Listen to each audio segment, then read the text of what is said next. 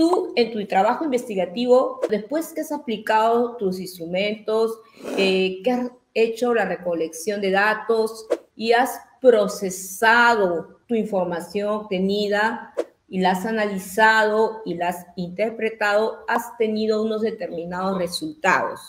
Lo que tienes que hacer es que estos resultados que tú has obtenido, compararlos con lo que obtuvieron otros autores que tú has citado, donde en los antecedentes.